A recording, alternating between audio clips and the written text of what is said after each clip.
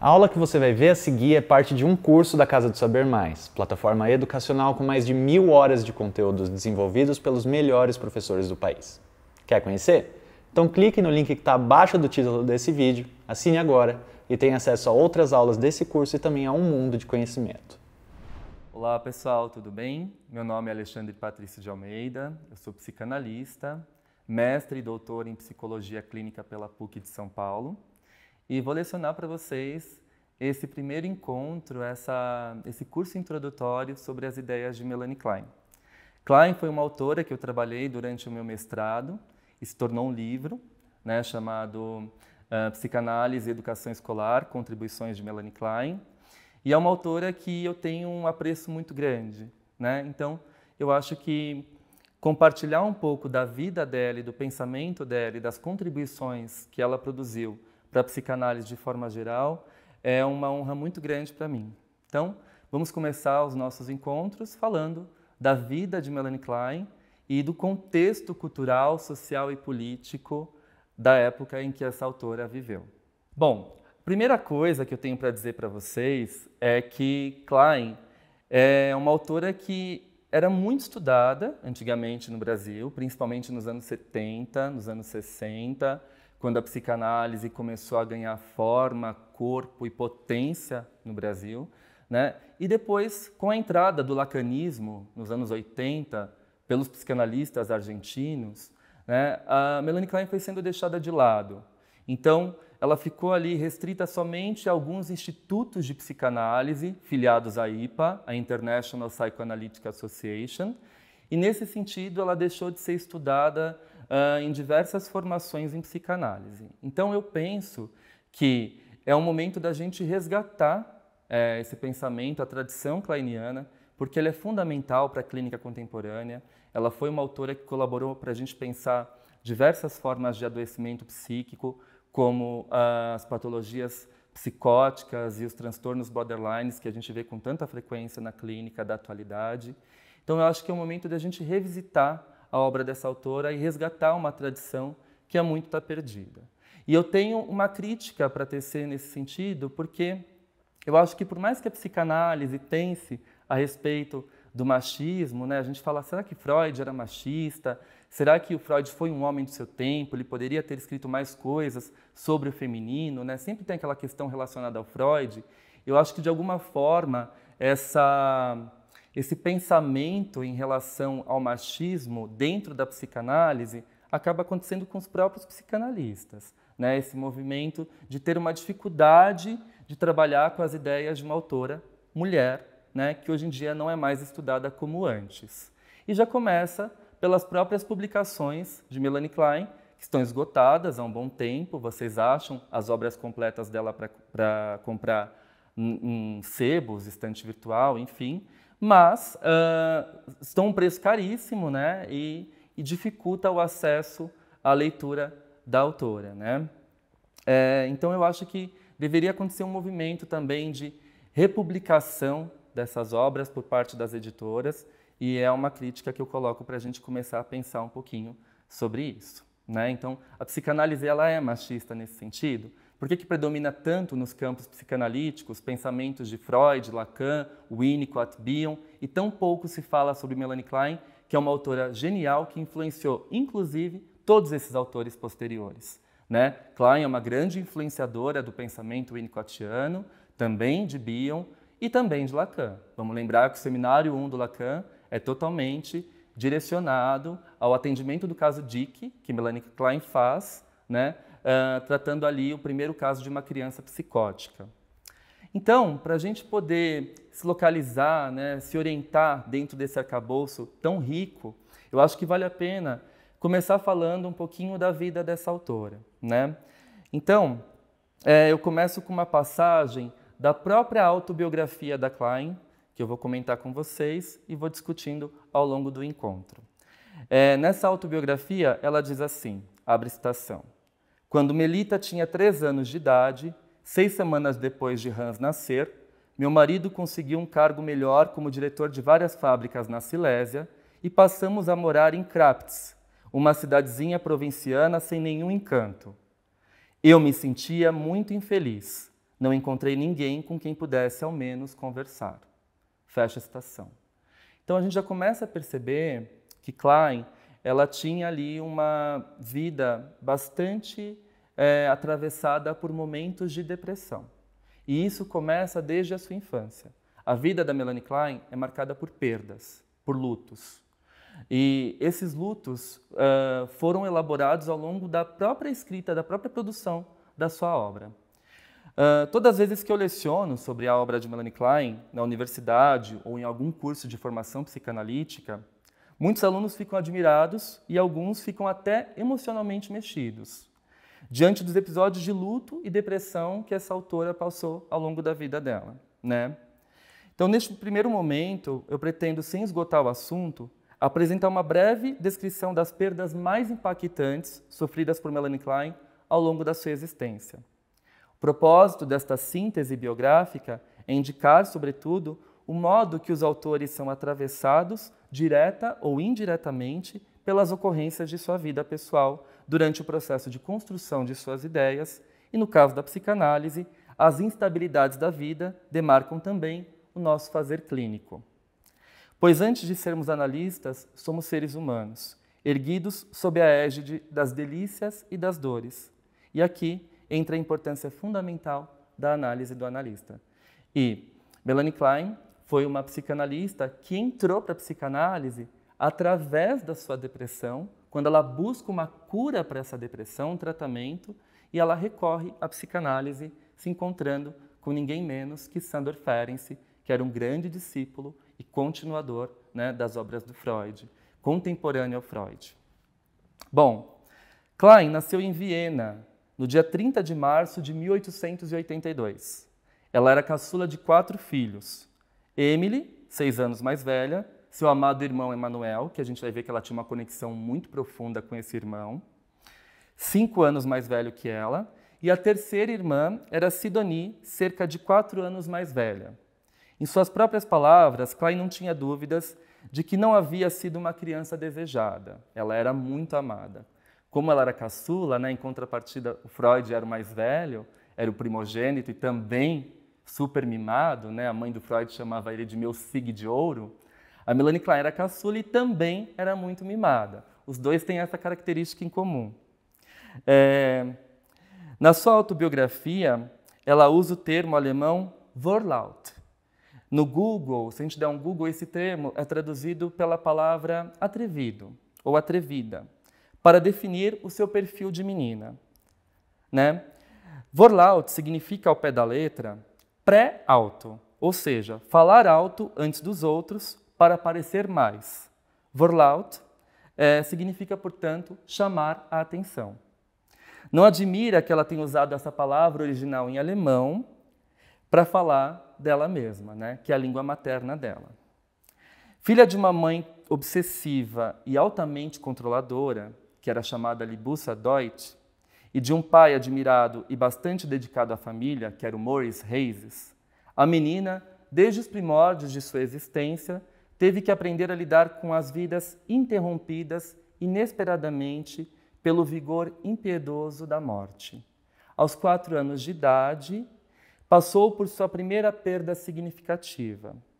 Sidonie, sua irmã de apenas oito anos, morreu de escrofulose, um tipo de tuberculose com alto grau de contágio. Esse foi o início de uma longa série de mortes que pontuariam a vida de Melanie Klein. E como eu falei para vocês, todas essas mortes elas possuem um impacto enorme no raciocínio dessa autora. Em 1900, faleceu seu querido pai, que era um herói para ela.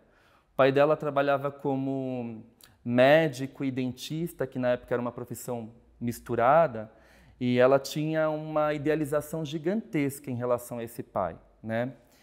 Ele morreu uh, oficialmente de pneumonia, mas como Melanie Klein o qualifica de senil há alguns anos, é provável que ele eh, estivesse sofrendo da doença de Alzheimer ou de algum outro distúrbio semelhante. A gente encontra esses dados na biografia oficial da Klein, que é um texto maravilhoso, vocês ainda acham para comprar, publicado no livro O Mundo e a Obra de Melanie Klein, é, assinado por Phyllis Grosskurt, que foi a, a biógrafa oficial de Melanie Klein. Bom, lembremos aqui que ele já estava na casa dos 50 anos quando Klein nasceu. Mesmo não sendo uma figura ativa durante a infância de Melanie Klein, ela narra uma forte admiração por ele, como o fato de ter feito todos os seus estudos médicos e ser pesquisador de uma significativa biblioteca pessoal. Né? Ele tinha uma biblioteca pessoal, pesquisava os livros dele, enfim, ele era todo inserido nesse meio cultural. Além de ter aprendido sozinho dez idiomas, inclusive o hebraico, no qual ele era um cientista e também pesquisador. Então, isso fazia com que a Klein cultivasse uma admiração enorme pela figura paterna. De qualquer maneira, sua morte desencadeou uma enorme crise sobre a família Reises. A situação financeira de todos ficou extremamente difícil. Ao mesmo tempo, Clay se transformava numa moça cada vez mais bonita e atraente. Por conta disso, todos os amigos do seu irmão Emanuel pareciam estar apaixonados por ela. Quando ela tinha apenas 17 anos, ela conheceu seu futuro marido, que na época já tinha 21 anos. Arthur Steven Klein, né? Aí vem o sobrenome Klein, porque ela era Melanie Hayes. Um rapaz sério e comprometido que estava estudando para ser engenheiro químico na elitista Escola Técnica Federal da Suíça, em Zurique. Arthur era, naquele momento, o melhor partido para a jovem Klein, pois através do possível casamento com um homem bem-sucedido, ela poderia auxiliar a família financeiramente. No entanto, uma surpresa acontece aí no meio do caminho, né? Melanie Klein, ela não queria casar cedo, ela queria fazer uma formação em medicina, depois uma especialização em psiquiatria. Ela conservava todo esse desejo dentro dela, né? Mas o destino acabou mudando tudo.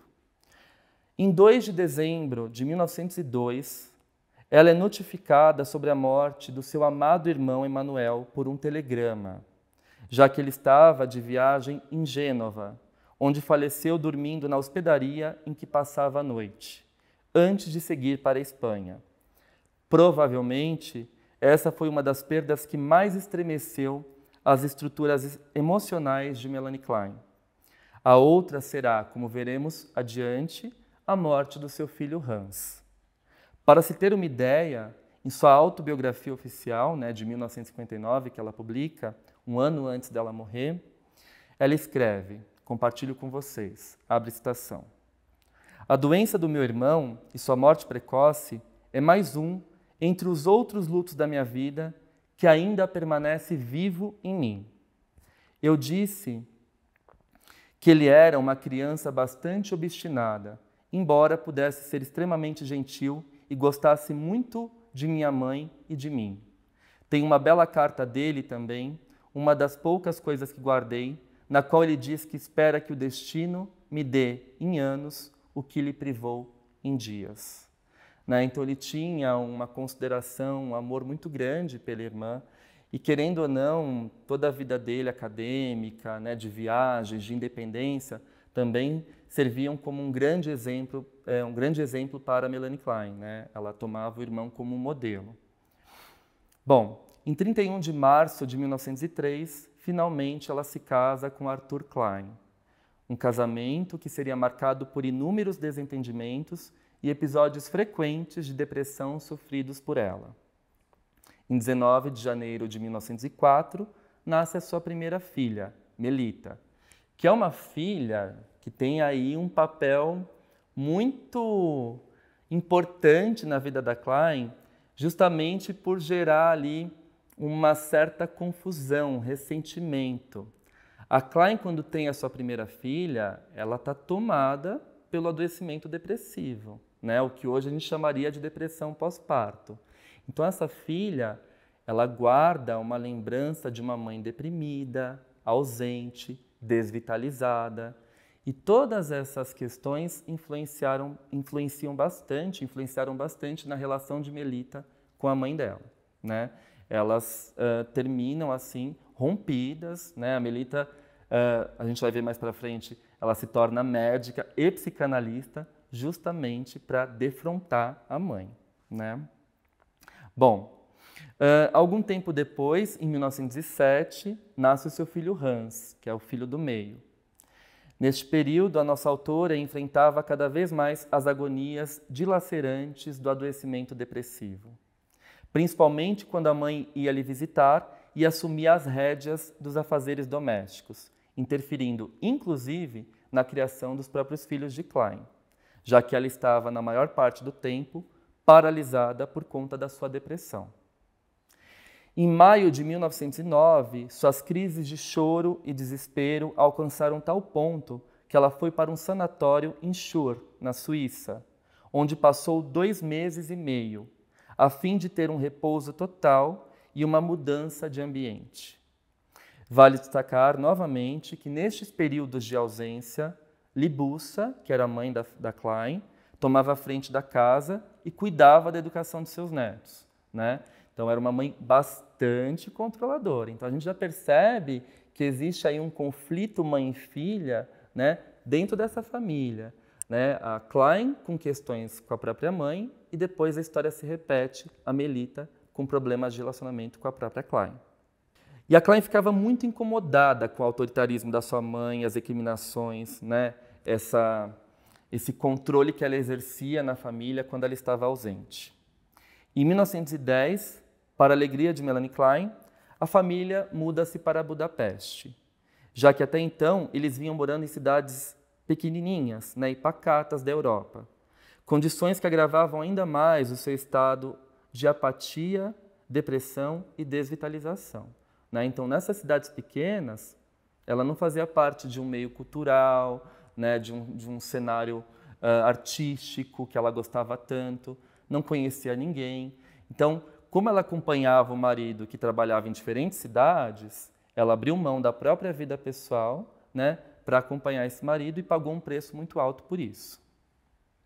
Bom, uh, em 1914, nasce o seu último filho, o Eric, em 1 de julho. Esse será o seu filho mais próximo, responsável por lhe garantir a convivência com os netos e acompanhar Klein até os últimos dias da sua vida. No dia 6 de novembro deste mesmo ano, ou seja, de 1914, uh, eh, morre a sua mãe Libussa, uma morte que também trará consequências estruturais para o pensamento kleiniano. Ainda nesse mesmo ano, Klein toma contato com a obra de Freud, né? ela está querendo entender um pouco mais sobre o mundo dela, o mundo interno, a subjetividade, suas próprias dores, e aí ela vai numa livraria e pede uma recomendação. E aí o, indicam para ela o livro sobre os sonhos, né? Über den Traum, do Freud, que é um resumo da interpretação dos sonhos que eu recomendo veementemente a leitura, diga-se de passagem. Vamos lembrar que Interpretação dos Sonhos é um livro gigantesco, né? É, e o Sobre os Sonhos é um resumão que o Freud faz com a intenção de tornar suas ideias mais fluidas né, e fazer a psicanálise circular num público para um público mais amplo. Né? Bom, ela fica apaixonada pelo Freud, né? quem não fica, eu super me identifico. Né?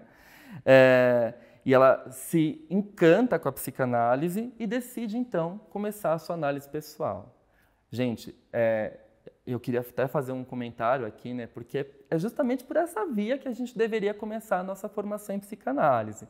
Geralmente as pessoas perguntam por onde eu começo a estudar, por onde eu começo a estudar, quero ser psicanalista. Vamos tomar o exemplo da Klein e de diversos outros analistas tradicionais. A gente começa o nosso processo de formação através da nossa análise pessoal. Eu acho que nunca é demais relembrar esse aspecto. Né? Para ser analista, a gente tem que viver o processo de análise na própria carne. E aí ela começa a fazer análise com Ferenczi. Né? Ela estava em Budapeste, então ela vai fazer análise com Sandor Ferenczi, como eu falei para vocês. E aí na autobiografia dela, ela diz, compartilho com vocês, abre citação. Tenho muito a agradecer a Ferenczi. Uma coisa que ele me transmitiu e que fortaleceu em mim foi a convicção da existência do inconsciente e da sua importância para a vida mental. Também apreciei estar em contato com ele, um homem de talentos incomuns. Ele tinha um traço de gênio. Além disso, fortaleceu em mim o desejo de me voltar para a análise de crianças e, de fato, fez isso, contando a Abraham a respeito no Congresso de 1919 em Haia. Né? Então, Ferenczi ele é o primeiro analista da Klein, ele percebe na Klein uma sensibilidade gigantesca e uma capacidade de trabalhar com a psicanálise. Então, aqui a gente também é, precisa parar um pouquinho e prestar atenção né, no papel é, fundamental, né, o papel de importância que tem um psicanalista na vida de alguém. Então, vamos lembrar que ela estava ali chateada com o casamento, depressiva, começa a fazer análise e o analista dela, que é o Ferenczi, que tem uma sensibilidade gigantesca também, né, um, um tato enorme em relação aos pacientes, inclusive essa é uma das características da clínica ferenciana, né, o tato, a empatia, ele percebe que a Klein ela tinha uma vocação, um talento para a psicanálise. E ele fala assim, olha, eu vou te sugerir, atende os seus filhos, né? o seu filho menorzinho, faz um relatório e apresenta para mim. E eu quero ver se você tem condições de entrar na psicanálise. Vamos lembrar também que ela fica em análise com Ferenczi por mais de cinco anos.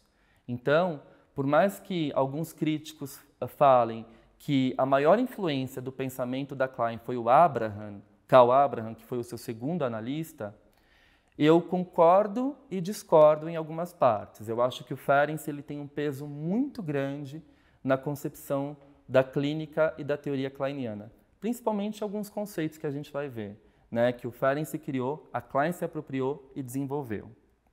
Bom, então, em 1918, no 5 Congresso Internacional de Psicanálise, Klein, encantada e motivada com os efeitos do seu próprio processo analítico, ela ouve atentamente Freud ler a conferência Caminhos da Terapia Psicanalítica. É quando ela vê o Freud, primeira vez, ao vivo, né? ela fica encantada com a fala do Freud, mas ao mesmo tempo decepcionada porque o Freud não dá muita atenção. Ele está ali no congresso, tem uma série de figuras políticas nesse congresso.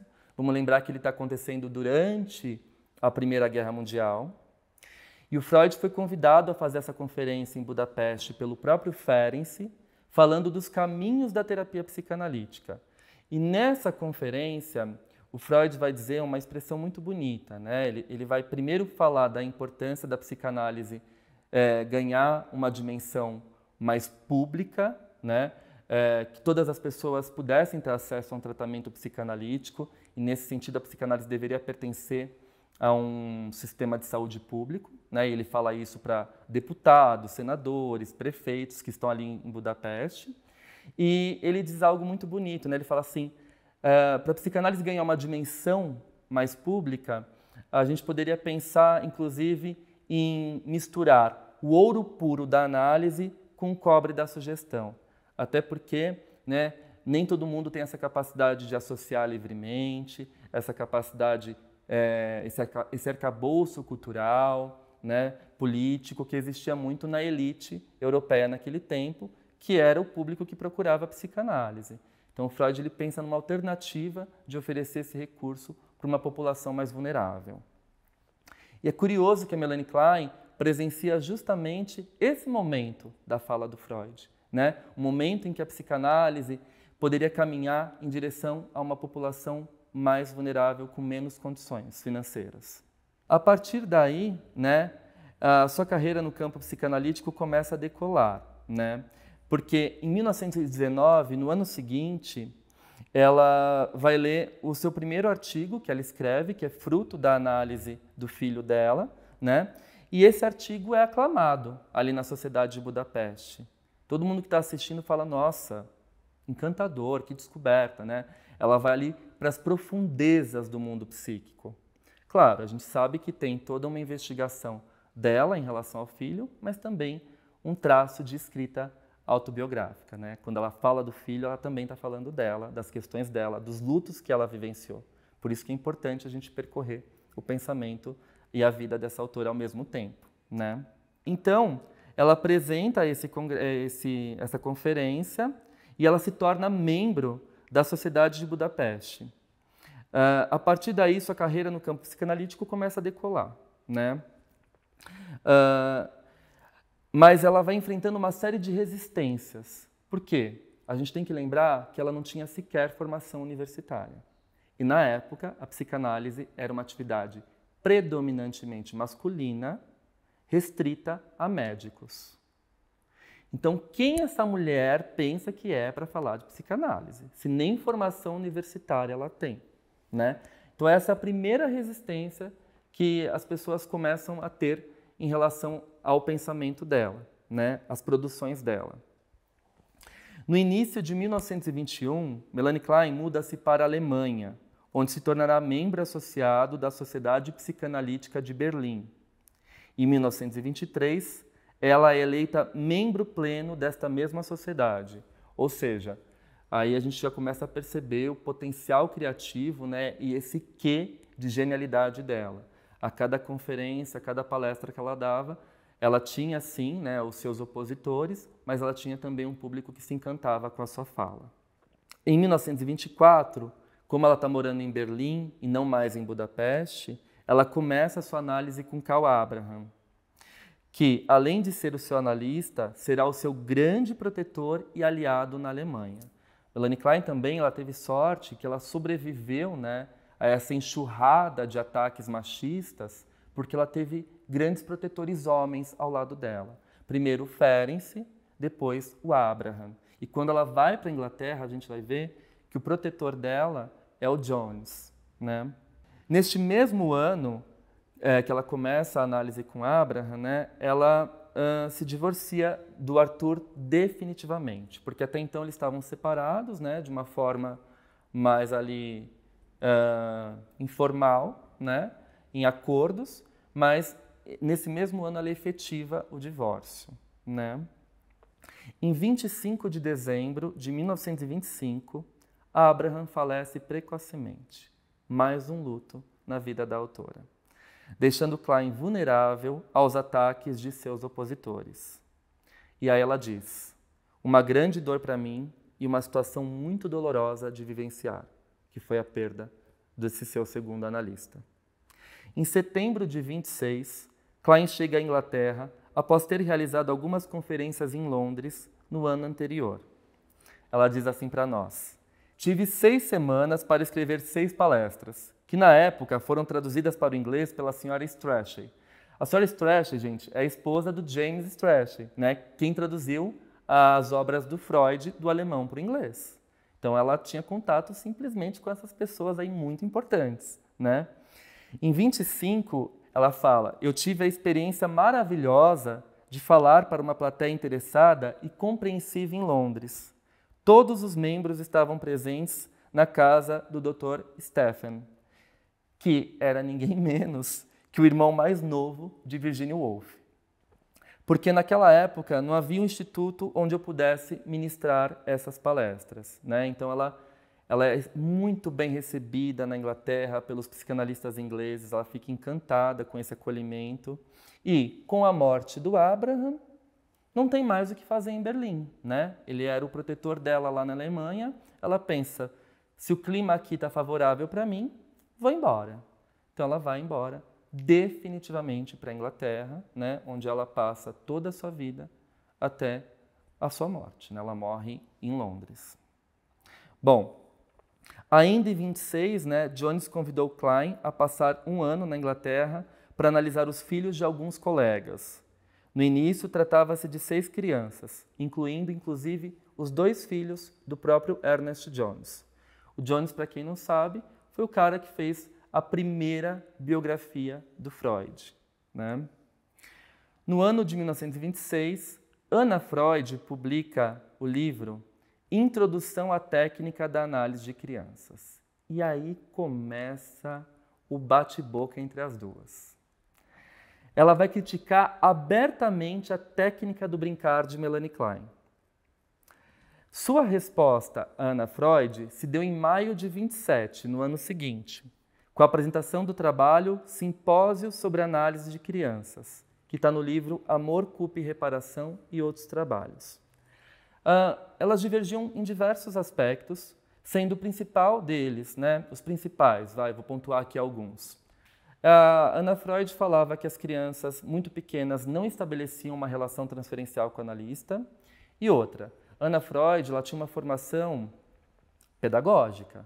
Então ela acreditava que as crianças tinham que passar por um processo pedagógico antes de começar a análise, tipo um treinamento, o que a Klein era totalmente contra. A Klein dizia assim: eu analiso meus pacientes pequenininhos, crianças, do mesmo, do mesmo modo que o Freud analisa os adultos. A diferença é que as crianças não deitam no divã para contarem os seus sonhos, elas brincam e eu analiso brincar. Então, isso é para vocês verem o quanto o pensamento das duas era bem diferente. Em 27, ela é eleita membro pleno da Sociedade Britânica de Psicanálise. Em 32, ela publica o seu primeiro livro, uh, Psychoanalysis of Children, né, a psicanálise de crianças, que é considerado um verdadeiro marco histórico para análise de crianças pequenas. Material obrigatório até os dias de hoje, diga-se de passagem, para quem pretende se tornar analista de crianças. Porém, uma outra questão. Muitas pessoas que não têm um contato profundo com a obra de Klein costumam dizer que ela é uma psicanalista só de crianças. Nada mais errado, né? É, isso é uma grande ausência de compreensão. Melanie Klein realizou descobertas muito impactantes para a clínica psicanalítica, ampliando o tratamento que antes era restrito somente a neuróticos, também para pacientes psicóticos esquizoides e borderlines. Né? Então, toda a sua investigação clínica amplia ah, os limites né, de atuação do psicanalista, que na época do Freud ficava restrito apenas aos adoecimentos neuróticos. Então, essa é uma das grandes colaborações da Klein. É importante a gente saber um pouco de todo esse contexto pessoal, histórico e cultural que atravessou né, a vida dessa autora e que inspirou ela a criar suas teorias. Né? Como a gente faz com Freud, com Lacan, com Winnicott, é fundamental a gente saber uh, quais foram as vivências desses autores para poder entender a obra, dele, de, a obra deles de forma geral. ok? Então, na segunda metade da década de 30, ela já estava lá em Londres, né? É, escolheu a Inglaterra como residência fixa. Uh, ficou muito bem caracterizada uma divergência entre freudianos de Viena e de Berlim. A Melanie Klein se dizia totalmente freudiana, né? ela não se dizia kleiniana. Ela falava assim, estou aqui defendendo e ampliando as ideias de Freud. Né? Uh, essa divergência entre freudianos de Viena e de Berlim, é, que haviam fugido de seus países por conta do nazismo, né, e os psicanalistas ingleses, com Melanie Klein à frente, acabou resultando aí uma série de discussões que a gente vai ver. Né? No entanto, a ideia de expurgar a psicanálise inglesa, como antes fizeram com outros dissidentes, né, como Adler, Jung, e como mais tarde se faria com o próprio Lacan, é, era inviável. Né? O Freud tinha que fazer a psicanálise sobreviver e a Inglaterra era um ponto de crescimento da psicanálise. Então, não tinha mais como derrubar isso. Né? Eles precisavam aceitar que as ideias estavam ganhando outras dimensões e não dava para simplesmente expulsar a Klein e os kleinianos, porque ela já tinha uma série de admiradores ali da Sociedade Psicanalítica Britânica. A situação política colocava a Inglaterra, colocava na Inglaterra o futuro e a sobrevivência da psicanálise. Uma intervenção de Freud com a finalidade de eliminar uma dissidência kleiniana seria, portanto, catastrófica. Iniciou-se então um período de confrontos, nos quais vários inimigos de Melanie Klein se juntaram para atacá-la, em termos pessoais e teóricos. Aqui a gente vê o quanto a vida pessoal e a teoria se amarram. De um lado, sua filha Melita e o marido, aliados ao psicanalista inglês Edward Glover, que era o analista de Melita, foram uh, um dos mais indignados com a pretensão de Melanie Klein meter-se pelos temas da psicose. E, de outro lado, uh, unidos a esses opositores, vinha a turma vienense, sob a liderança de Anna Freud. A vida de Klein, até este momento, havia dado uma importante reviravolta. Né? Ela superou seus estados depressivos, ao passo em que iniciou seu processo de análise, né, com Ferenc e depois com Abraham, Começou a produzir uma significativa obra escrita, ela tinha um potencial criativo muito grande, embasada em minuciosas observações clínicas. Então, a Klein, assim como Sandor Ferenczi, ela é uma psicanalista é, eminentemente clínica. Todas as suas descobertas partem da clínica. A Klein, ela não vai buscar referências na filosofia, é, em outras disciplinas. Né? Ela se orienta pela arte, pela cultura e pela clínica, fundamentalmente. Então, uma característica dos textos kleinianos que vocês vão perceber ao longo dos nossos encontros é que todos eles trazem um recorte clínico. E isso torna o texto muito fluido. A linguagem da Klein não é uma linguagem de difícil compreensão, muito pelo contrário. É uma linguagem que incomoda, porque ela é uma autora visceral. Ela tem um traço ali meio Clarice Lispector, que a gente vai ver um pouquinho mais para frente. Então, ela começou a, a, criar uma série de artigos de produções teóricas, né? Uh, e ela estava sendo cada vez mais reconhecida como um nome muito importante do campo psicanalítico de sua época. Entretanto, né, como dizem os nossos avós, nem tudo na vida são flores, né, gente? Em abril de 34, Klein enfrentará uma das maiores perdas da sua vida, a morte do seu amado filho Hans. Cito aqui um trecho de sua biografia, escrita por Phyllis Grosskurt, que elucida com precisão os detalhes dessa tragédia. Abre citação. Hans estava trabalhando numa fábrica de papel fundada pelo avô, não muito longe de Runzumberok. Ele adorava fazer caminhada nos montes Tatra, que haviam constituído o cenário de sua vida quando menino. Mas, num passeio, o caminho de repente cedeu sob os seus pés, fazendo mergulhar na parte lateral do precipício. O enterro foi realizado em Budapeste, onde Eric, o filho mais novo dela, né, estava visitando sua tia Jolan. Arthur Klein veio de Berlim, mas Melanie Klein ficou tão abalada que ela não conseguiu sair de Londres. Eric Klein afirma que a morte de Hans foi para ela uma fonte de pesar pelo resto de sua vida, né? Até porque a gente sabe da dor imensurável que é você ter de enterrar um filho, né? A reação imediata de Melita, né, filha mais velha de Klein, que tinha uma relação extremamente complicada com a mãe, foi dizer que havia sido suicídio. Boato que logo ganhou força no campo psicanalítico. Contudo, por falta de provas documentais, todas as minúcias que dizem a, a respeito desse episódio de Hans permanecem perturbadoramente obscuras e mal resolvidas. Até hoje a gente não sabe se foi suicídio ou se de fato foi uma tragédia. Klein, por sua vez, que fazia questão de nunca faltar a uma reunião científica da sociedade, só conseguiu aparecer em público no dia 6 de junho. Né? Ele, é, é, o filho dela morre em abril e ela só volta às atividades em junho. Ela fica dois meses ali estagnada. Bom, pelo resto de sua vida, nossa autora voltaria sua atenção para as questões da perda, do pesar e da solidão, experiências que, obviamente, fundamentavam a base central da sua existência. O sofrimento faz parte da vida e, segundo Nietzsche, é parte natural de uma crise necessária ao ser humano. Entretanto, Melanie Klein soube colher da dor os frutos da sua criatividade. Sua teoria começou a se solidificar, ganhando forma e contorno muito bem delineados, alcançando uma dimensão talvez nunca imaginada nem mesmo pela própria autora. Nos anos 35, 36 e 37, Melanie Klein publicou três artigos, um por ano. Uma contribuição à psicogênese dos estados maníaco-depressivos, que a gente vai trabalhar né, uh, ao longo do curso. O desmame e o amor, culpa e reparação, que é um dos artigos mais profundos dela.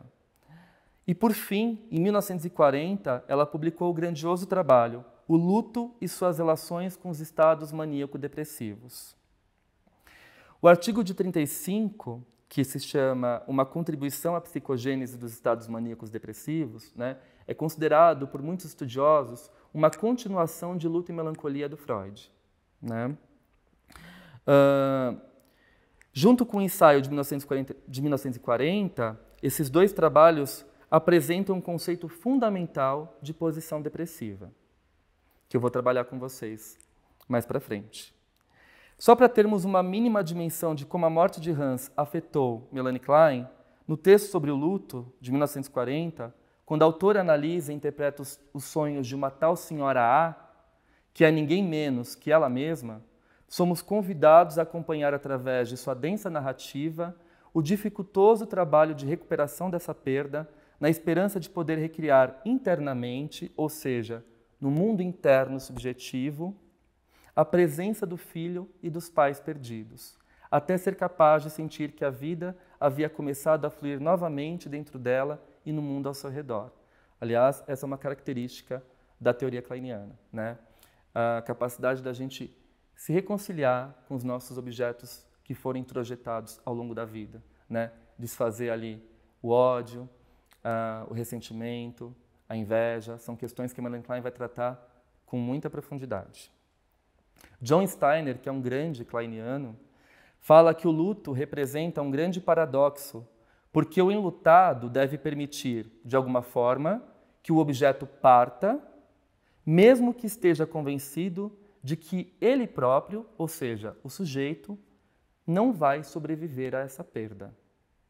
Klein descreveu este processo vividamente na paciente que ela chamou de Senhora A, que perdeu o filho e, após a sua morte, começou a separar as cartas, guardando as dele e jogando fora as de outras pessoas. Em princípio, ela não chorou muito e as lágrimas não trouxeram o alívio que trariam mais tarde.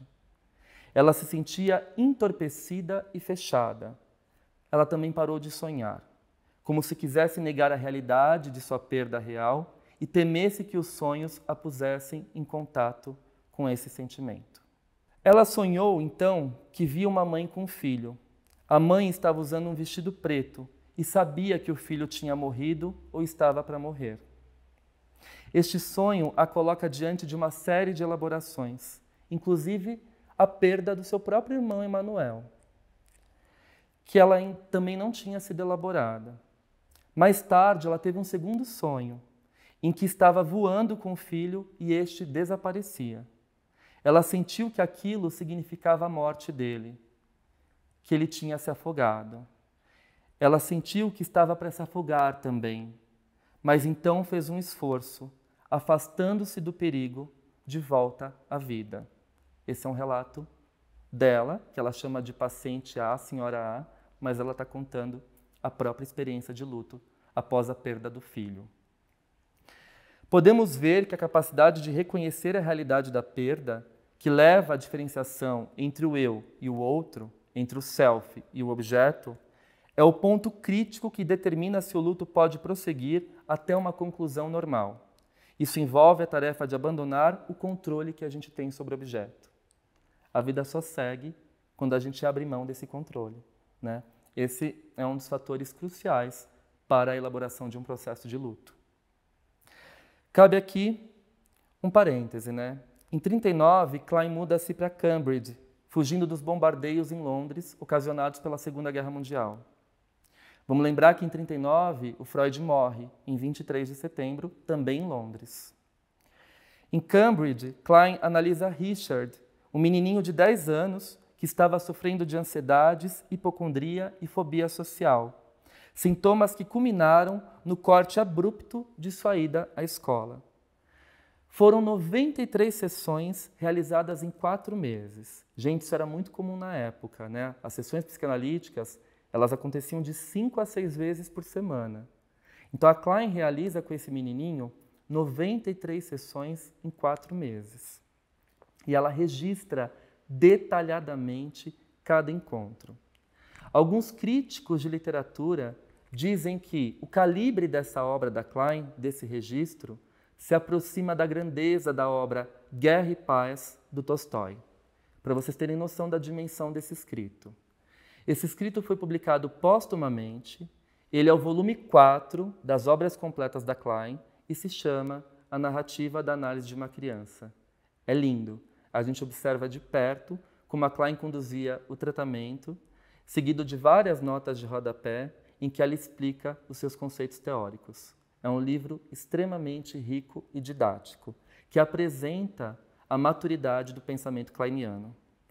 Em 41, ela retorna a Londres e entre 41 e 45, né, no auge ali da Segunda Guerra Mundial, aconteceram as famosas controvérsias Freud-Klein, que é um livrão gigantesco, assim, se vocês procurarem, vocês vão achar, que tem o um registro de todas essas discussões entre a Anna Freud, o grupo freudiano, e a Melanie Klein e o grupo kleiniano.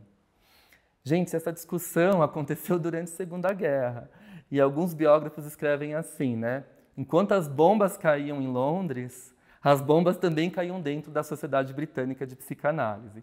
Inclusive, existe uma passagem que as duas estão lá brigando, batendo boca, e o Winnicott está na plateia, aí ele vira e fala assim, com licença, desculpa atrapalhar a discussão de vocês, mas nós estamos sendo bombardeados. Né? A gente tem que partir para uma evacuação aqui. Então, para vocês terem noção da intensidade dessa discussão intelectual. Né? Em 1945, Melita, sua filha, muda-se para os Estados Unidos. Mãe e filha não se reconciliaram. A Melanie Klein falece né, em 1960 e a Melita não vai no enterro, enfim. a ligação com seu terceiro filho, Eric, e seus netos permaneceu trazendo realizações até o final da vida de Klein. Em 46, ela publica um dos seus artigos mais importantes, que é o Notas sobre alguns mecanismos esquizoides, em que ela apresenta para nós o conceito de identificação projetiva. Esse conceito é considerado pela própria International Psychoanalytic Association como um dos cinco conceitos centrais da psicanálise. Claro, três deles são do Freud, três deles são do Freud, né, têm uma origem freudiana, e dois deles são da Melanie Klein. Então, isso é para vocês verem a importância uh, do trabalho dessa autora, né? E como é fundamental que a gente retorne a ela. Em 57, ela publica, quando ninguém esperava mais nada de novo da psicanálise, o seu colossal Inveja e Gratidão. E aí a coisa pega fogo, né? Porque ela aumenta ali as hipóteses dela, ela expande os conceitos através das experiências clínicas e ela vai falar de algo que é uma pedra no sapato para todo mundo, né? A inveja, dando um sentido muito mais amplo do que o Freud tinha dado na obra dele, que ele só falava da inveja do pênis, né? Uma conotação, diga-se de passagem, um pouco machista, né? E a Klein vai falar da inveja como um todo e que esse sentimento está presente desde o nascimento do bebê. A gente vai ter uma aula só para falar de inveja e gratidão. Em 59, em Copenhague, ela faz a conferência sobre o sentimento de solidão, porque ela já estava se aproximando do final da vida, ela se sentia sozinha, ela era uma senhora extremamente ativa, ia nos eventos, nas conferências, viajava, passava férias, as férias nas casas das amigas, dos amigos que moravam em outros países da Europa. Ela tinha uma vida muito ativa. E aí ela começa a se sentir sozinha, né? Então, em 59, ela escreve um texto lindo chamado Sobre o Sentimento de Solidão, que ela apresenta, ela não consegue arrumar ele para publicação. Quem organiza o texto e publica é o Instituto Melanie Klein Trust, que existe até hoje em Londres. Inclusive, vocês podem acessar o site para ter uh, conhecimento ali de fotografias, de arquivos, de documentos pessoais da Klein, que ficam disponíveis nesse site do Melanie Klein Trust. Ok? Curiosidades, né? Em uma supervisão clínica, né, no encontro clínico, a Klein se afirmava extremamente freudiana.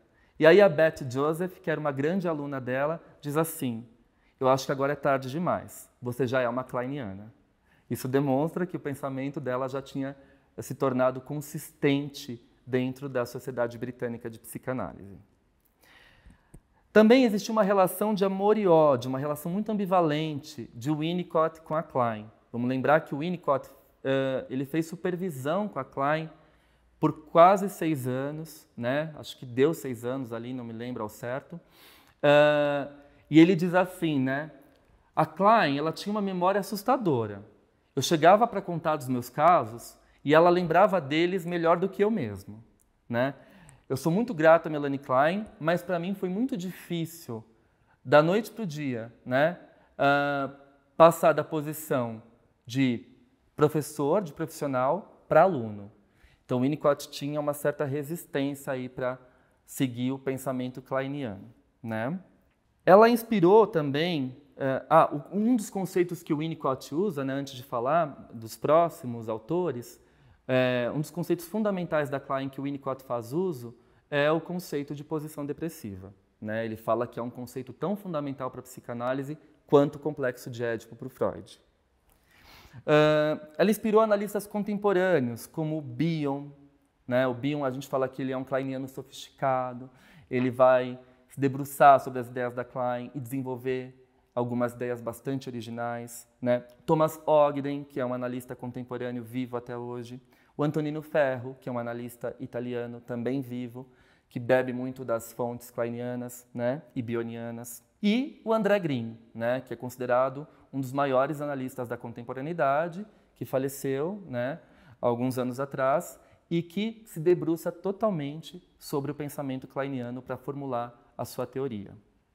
A gente tem uh, de publicação hoje assim que faz um compilado das ideias kleinianas, né? Mas infelizmente esse livro também está esgotado. É um livro chamado Dicionário do Pensamento Kleiniano, publicado pelo Robert Hinchelwood, né? Que é um grande estudioso da obra dela. Uh, recentemente, Elizabeth Spilius, junto com outros kleinianos, organizou um novo dicionário do pensamento kleiniano, ele está disponível para compra somente em inglês. Ele ainda não foi traduzido para o português. Em agosto de 49, agora vamos falar um pouquinho da relação da Klein com Lacan, que é uma relação de inveja e gratidão, também dos bastidores aí das fofocas. Em agosto de 49, durante o 16º congresso da IPA, da International Psychoanalytic Association, em Zurique, Lacan conheceu Melanie Klein e pediu-lhe autorização para traduzir para o francês a obra dela Psicanálise de Crianças. Ela ficou encantada quando Lacan abordou nessa ocasião e concordou. Rudnesco, que é uma historiadora da psicanálise, diz para nós, abre citação, Quanto a Melanie Klein, ela não estava interessada no que Lacan tinha a dizer. Ela achava difícil de entender, intraduzível e de pouca utilidade para ela. Ela estava muito ciente, no entanto, da ajuda que Lacan poderia ser é, para ela na França, que ela tinha uma grande intenção de, de publicar as obras dela na França. E ela sabia o quanto ele era admirado por uma geração mais jovem de psicanalistas. Lacan, por sua vez, ainda estava determinado a obter o apoio dela na, promoção da ideia do progresso da psicanálise. Né? Então, os dois tinham interesses compartilhados. Então, Lacan começa a tradução, mas depois ele deixa de lado. A gente não encontra explicações por conta disso. Aí ele pediu a René Actini para continuar, que na época era o seu paciente. Quando René acabou, ele entregou para o Lacan. E o Lacan nunca mais devolveu essa tradução da primeira parte do livro da Klein. Ele perdeu. Olhem que curioso. Infelizmente, era a única cópia francesa que existia naquela época. Dois anos depois, em um congresso em Amsterdã, Jactine contou a Klein o que havia acontecido e ela ficou muito chateada. François Girard e seu marido canadense Jean-Baptiste Boulanger seguiram com a tradução, mesmo com Lacan perdendo a primeira parte. Klein participou ativamente desse processo. Eles mandavam para ela, ela mudava as palavras que ela não concordava, ela mandava de volta para eles.